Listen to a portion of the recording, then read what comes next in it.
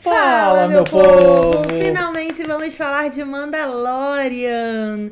Essa série maravilhosa que estreou logo no lançamento do Disney Plus, lá nos Estados Unidos. Já já a gente fala tudo que a gente achou do primeiro e do segundo episódio, onde a gente tá vendo É. e por que que o Disney Plus ainda não chegou no Brasil. A gente vai falar de tudo, que já são as dúvidas que vocês colocaram lá no nosso Instagram.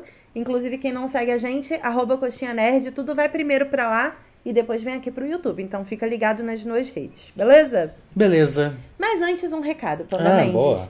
Estamos quase esgotando nossas vagas para o Coxinha XP. Ei. Nosso evento durante a CCXP de São Paulo, agora em dezembro, de 5 a 8 de dezembro. Estaremos no Hotel Nobile Congonhas, em São Paulo, fazendo lives todos os dias com uma plateia incrível que vai participar do nosso Coxinha XP. Além da plateia, você vai ter direito a vários brindes, participações especiais em várias ativações nossas do Coxinha XP. Boa. E eu tenho certeza que você vai se divertir bastante. Teremos vários convidados incríveis lá batendo papo com a gente todos os dias sobre tudo que vai estar rolando dentro da CCXP. Então, se você não garantiu o seu ingresso para a CCXP ou não vai conseguir ir por algum motivo, essa é a sua chance de ficar por dentro de tudo que vai rolar dentro do evento. Na moral. O link para participar do Coxinha XP tá aqui na descrição. Qualquer dúvida, manda uma mensagem pra gente ou um e-mail para cris@coxinhanerd.com.br e a gente te ajuda a participar do Coxinha XP. Agora, Panda Mendes, Mandalorian na veia. Pra quem não assistiu, como nós, junto com a estreia, Que é um saco. você. Eu não aguento mais tomar spoiler. Aliás, assim, em respeito a todo mundo que não assistiu ainda, esse vídeo vai ter spoiler. É. Porque eu preciso falar de tudo que me incomodou nessas últimas duas semanas. Foi, foi desrespeitoso. Então, se você não assistiu, é de bom grado que você não veja esse vídeo. É. Porque a experiência dá uma estragada assim, tá? Eu vi algumas pessoas dizendo que não estraga, mas estraga a experiência A minha sim. estragou. Eu achei bem Seria- insuportável. Seria uma ótima surpresa que eu perdi. Né? Exatamente. Pra quem não sabe, rolou aí um monte de imagem nas duas últimas semanas Nossa, de bastante. fanarts e memes e tudo que tinha direito, tudo que a internet poderia prover desse, desse tema sobre o Baby Yoda, Ah. que é o mini Yodinha É. de O Baby Shark. fofo. É o Baby Shark É do universo Star Wars. Baby Yoda, tu, turu, turu, Ó, Baby eu Yoda. joguei Ai, aqui, gente, só pra olha. você ver, ó. Eu joguei a hashtag Ioda e olha o que apareceu. É isso. A gente não tem paz nessa internet mais. Entendeu? É cada meme, é cada inferno que ficam colocando na nossa timeline. Eu tomei tanto. spo- Eu tomei spoiler no grupo do editorial do Coxinha Nerd. Isso. Eu quase explodi aquele grupo com todo mundo que tava nele. Eu quase taquei todo mundo no lixo. É isso Falei aí. que inferno ficar me dando spoiler. Enfim, tem o Baby Yoda, que é a coisa mais fofa desse mundo. E ele faz Eu achei muito fofo, meu Deus. E vai me. Ele faz. e a mãozinha, a mãozinha. Vou fazer aqui a, a força, a piquititinha. Ah, gente, para! Não existe nada. John Favreau, que é o roteirista, Nos fez um fravro. ele disse que não vai fazer. Até você ficou vergonhado dessa, né? É. Vamos- Ele disse um que favor. não é, não é pra vender bonequinho. Ah, faça-me um favor. John Favreau. É claro que vai Sabe, vender um monte venha- de Baby Eu Yoda. quero esse, esse- Olha a cara desse sujeitinho. Olha. Olha a fuça desse Baby Yoda fazendo. Eu não tenho condições. Ele tá assim, ó. Fofinho, com as orelhinhas assim, ó. Ah, não, gente. Eu não tenho nem roupa pra esse Baby Yoda. É óbvio que eu quero chaveiro, camisa, orelha. Eu quero a cara dele pra botar na minha cara de tão fofa que é. Cruz, olha isso. É muito fofo. Ah, Mas não é pra isso, né? Mandaloriano é uma série, Que era pra gente pensar no Mandaloriano, mas a gente só olha pra cara de Baby Yoda o tempo todo. mas é uma série que ela veio mostrar que o universo de Star Wars não é só Luke Skywalker. Não, é Baby Yoda. É Yoda, não é Luke Skywalker. Mas Nunca assim- foi. É a família, é a história da família do Yoda. Vamos lá, eu tenho várias dúvidas sobre essa série, Ah. porque eu sou uma pessoa filmes. Eu sou uma pessoa RPG. Eu vou te falar que a resposta pra esse É, as grandes dúvidas Tá, está no episódio 1. tá bom. Aí, viu que é meu favorito da vida. É. Ah, para, meu episódão, hein? Aí, Valeu, ó. John Favreau! Aqui, deixa eu falar pra vocês. Ah. Mandalorian, então, pra quem tá perdido no tempo e espaço por algum motivo, Sim. é a nova série original Disney Plus. Aê! What? Exatamente. Disney Plus chegou nos Estados Unidos dia 12 de novembro, deu três tapas na cara de todo mundo, arrebatou 10 milhões de assinaturas e as pessoas ficaram, não sei o que tá acontecendo. E a Disney, eu sei. Entendeu? Foi isso que aconteceu.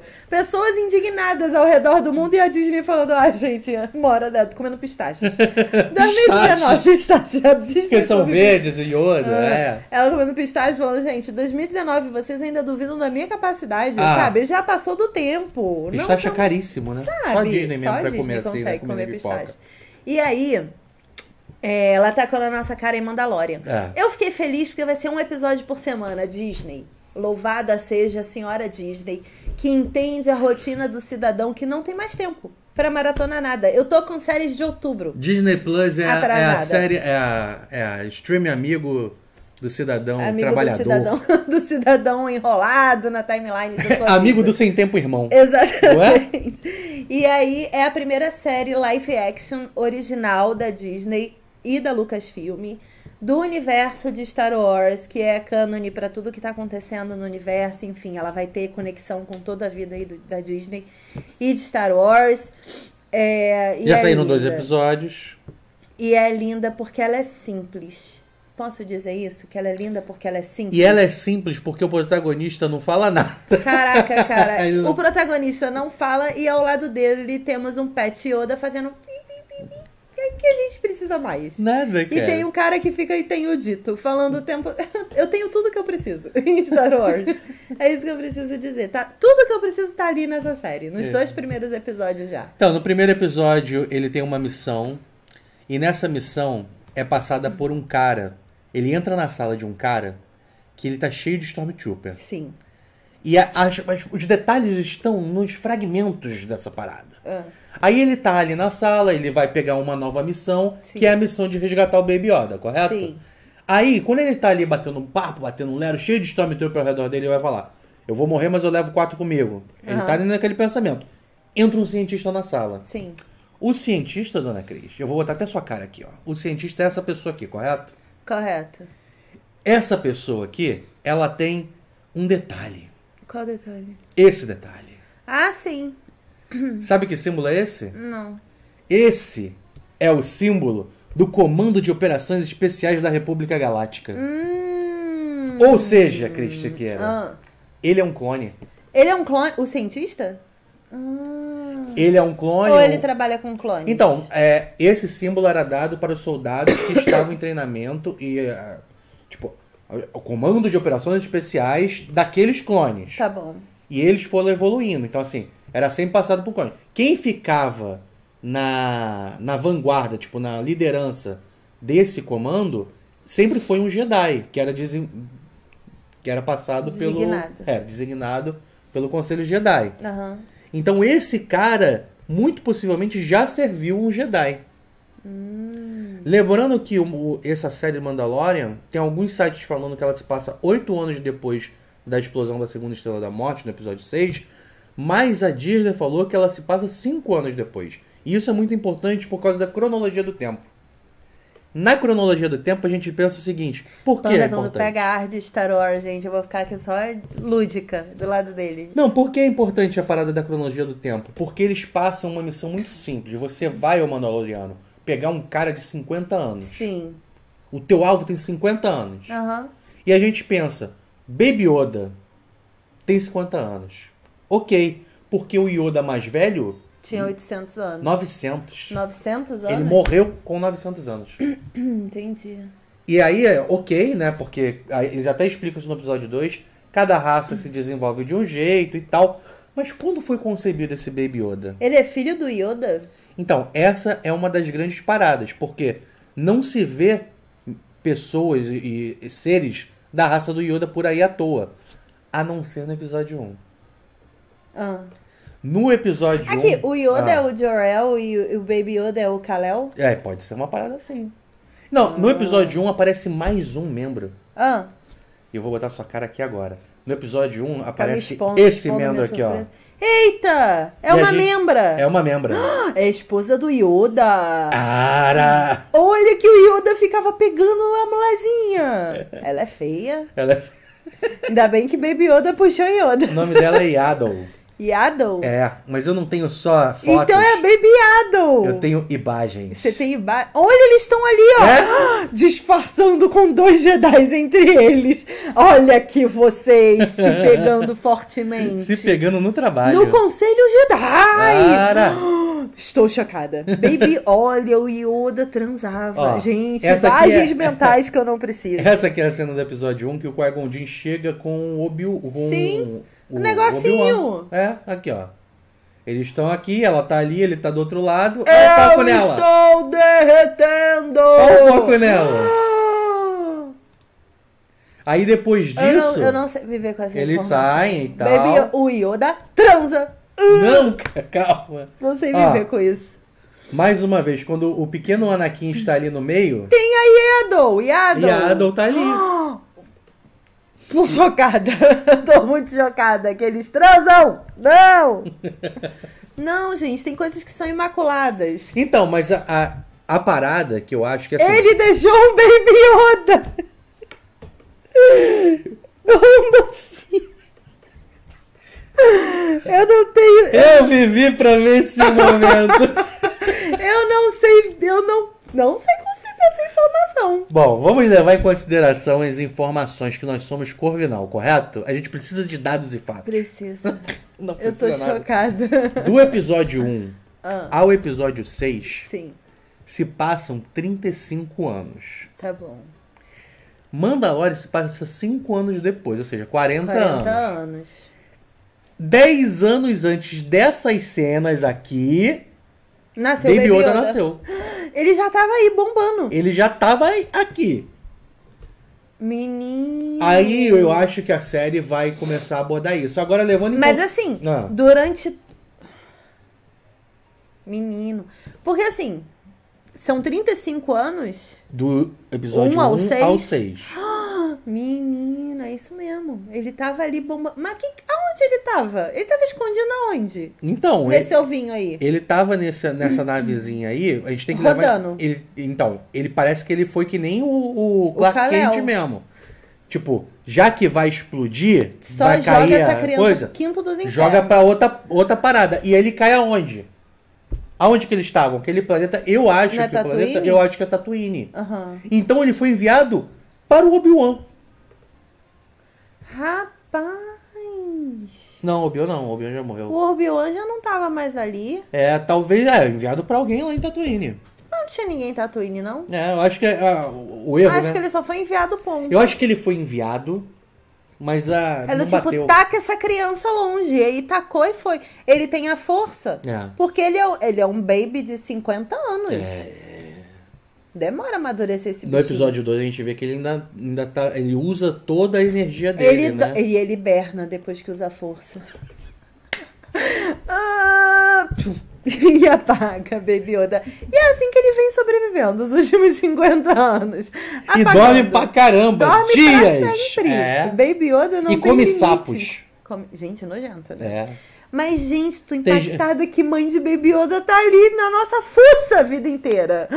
Iado, tu é Iado. Pegou logo o Yoda. Aí ela aí, ó, Iado sentadinha. Yoda. Qual é o nome do Baby Yoda, será? É, eu não sei. a gente vai saber. Idol. Yaddle, Yoda, Idol. Não, não vai ser Não. nada parecido A- assim. ó, caraca, é Yada e Yodel. Ah, sim. Yoda. Mas a Ninguém gente tá- sabe A gente tá nome. levando em consideração que esse bebê foi concebido. Certo. O que que o Yoda aprovou?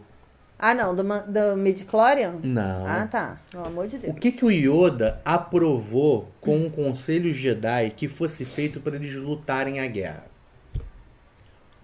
Uma tropa de clones. Você acha que é clone do Yoda? Eu tal, não sei se é clone do Yoda, mas você não, a gente tem que levar em consideração que o cara que tem interesse nele vivo é um clone. É um clone. Ele parece um cientista. Dá um zoom de menina Yada de novo aí que eu quero olhar pra cara dessa candanga. Aí. Que ficou se esfregando em Yoda enquanto eu tava assistindo Star Wars.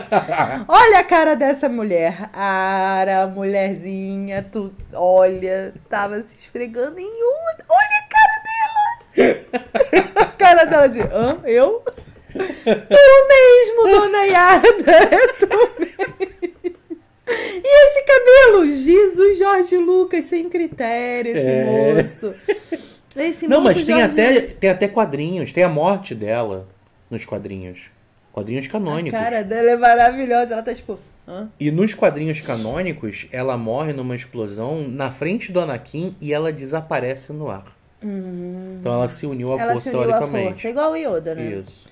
Gente, tô impactada. Então, é o filho de Yoda com Yada o que está em Mandalorian.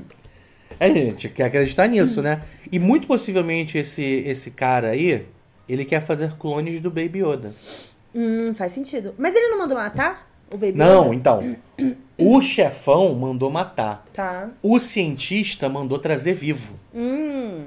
E aí, a- eu acho que a, a história vai começar a nascer da seguinte forma: ele vai entregar. Tá.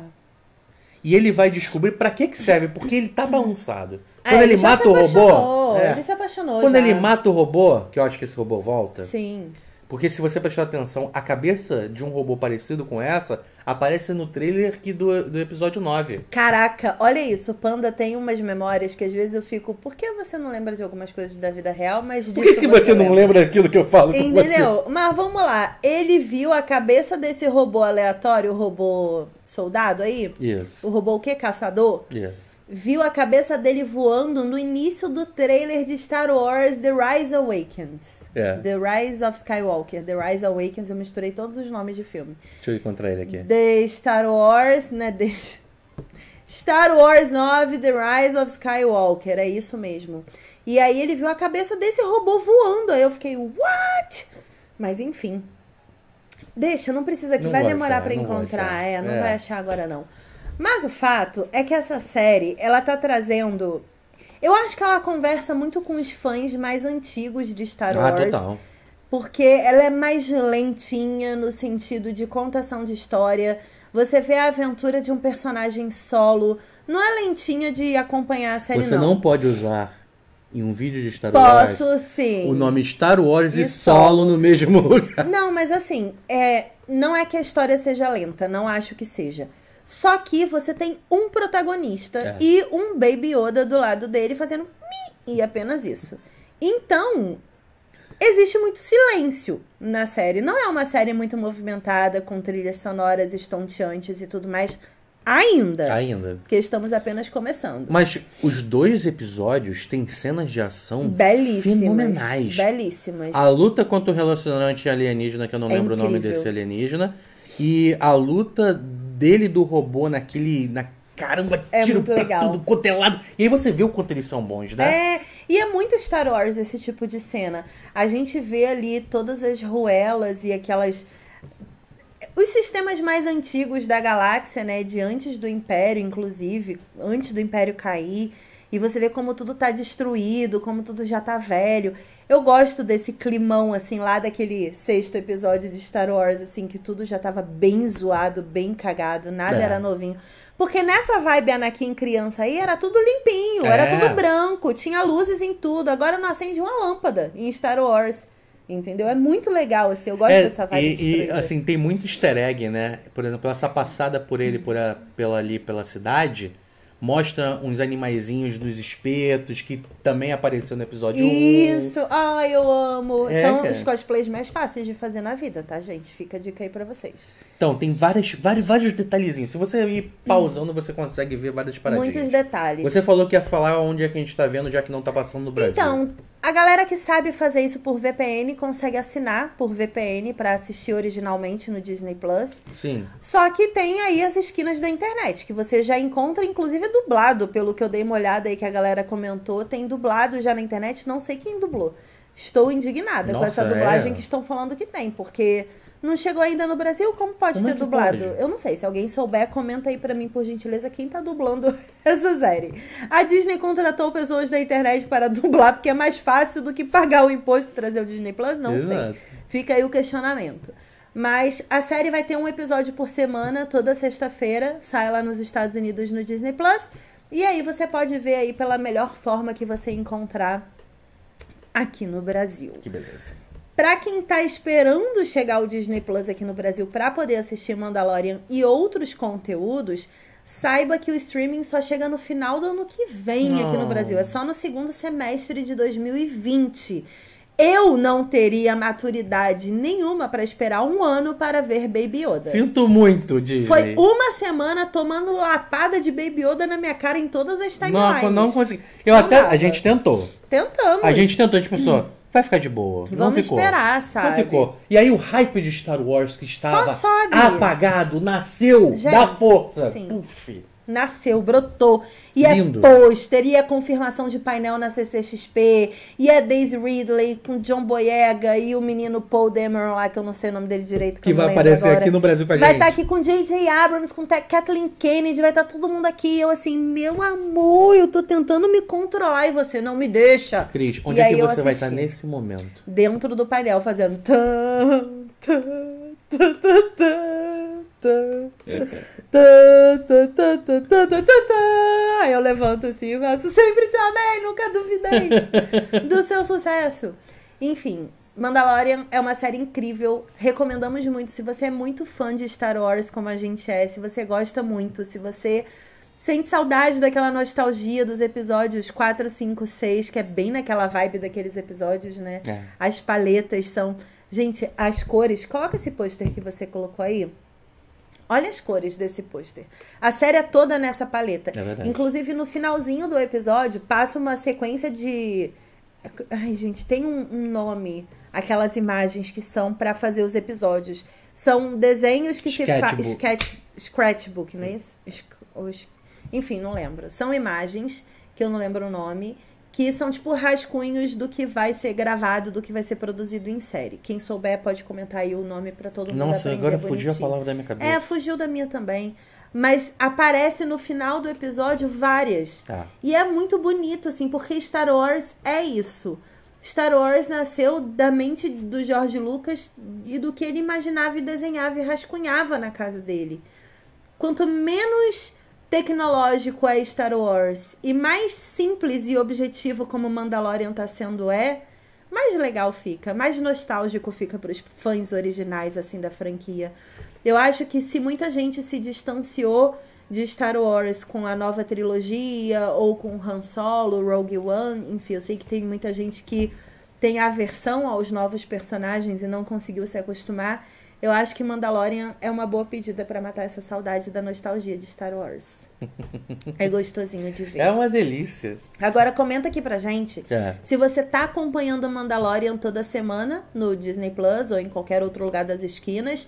E se você quer que a gente faça review semanal. Porque a gente vai assistir toda sexta-feira os episódios novos.